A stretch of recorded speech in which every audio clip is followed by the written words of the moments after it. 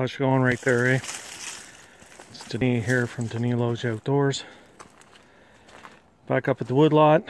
Um, I'm going to dig up some gravel today. I think I'm going to try using this Multilander dump trailer again. I did a, a, little review on it um, on the logging rack and the logging rolling issue or not issue but um, use use of it and uh, I haven't uh, done a review or a video on the dump trailer portion of it um, yet. I've been actually trying to deal with the company that makes them because whammo I have an issue right there. Um, the tongue has bent on it and uh, it wasn't really loaded all that much. As you can tell this trailer has not been abused. I mean I only put maybe three loads of dirt through it through the dump part um, I even noticed with the tongue being bent that the swivel um, tongue on it is uh, actually twisted to one side.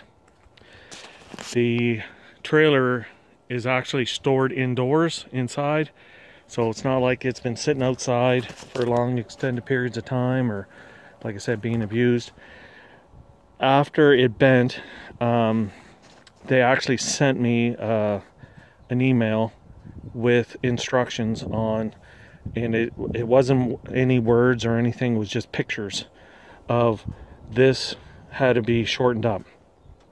So obviously, I want to try to keep the trailer as long as possible, especially when I'm hauling logs.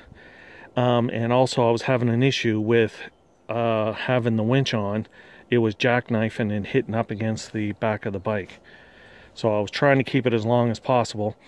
They sent me that um, email a little late because the trailer was already damaged or broke when they sent me that.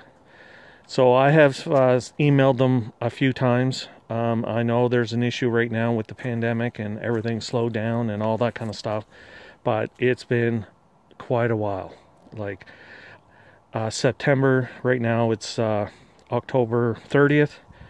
Uh, September, um, I've had this trail trailer a year. I bought it a year ago in September. And like I was saying and showing you, like I haven't used this trailer a lot at all. Um, just looking in here on this rack, that's actually spruce uh, sap from a log that I rolled up. I only rolled one or two logs on it and brought it to my mill. Um, wanting to work on this off-grid cabin road. Um, I actually I'm going to try this dump trailer one more time. And if I can kind of make it through, I will. If not, I'm going to use my big one. Uh, this one would be a lot more convenient because it's really tight. Um, one thing that I've noticed and I started doing is that when I would go to dump, I put the jack down to try to hold some of the weight. Um, and you can tell like that's the bad weak point right there. So, I mean, if there was two jacks maybe, um, you know, when I go to dump, I don't mind, you know, putting two jacks down. It kind of makes sense to try to get some support to hold that up. Um, like I said, I did send them another email um, to their technical crew, I guess, or whatever that means. Um, I'm going to do this video and I'm actually going to send it to them first and see what they say. Um, if I don't get any response or anything, I'm going to upload it onto YouTube um, my thing is is I just don't want anybody else uh, to buy this. And like this trailer was I think like 3500 bucks. Like it's it's not cheap. Everything else seems to work great. The whole concept is good. When you watch their video everything looks awesome. And it's like yeah ooh ah yeah this would be freaking great. Well it is great if didn't have this issue here. Um, it doesn't show or say anything in the video that this should be shortened up as much as possible.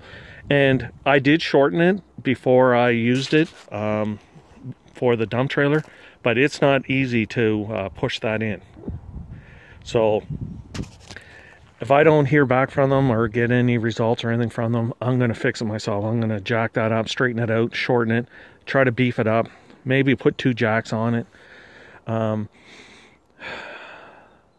ideally, I was hoping that, you know, for up here in the woods, working on little wood roads and uh, logging trails and all that kind of stuff, it would be convenient because it's so small and light than haul that big honking trailer around. Um, but it it uh, it hasn't done that. Anyhow, if you think of it, like, share, subscribe, comment, all that kind of good stuff.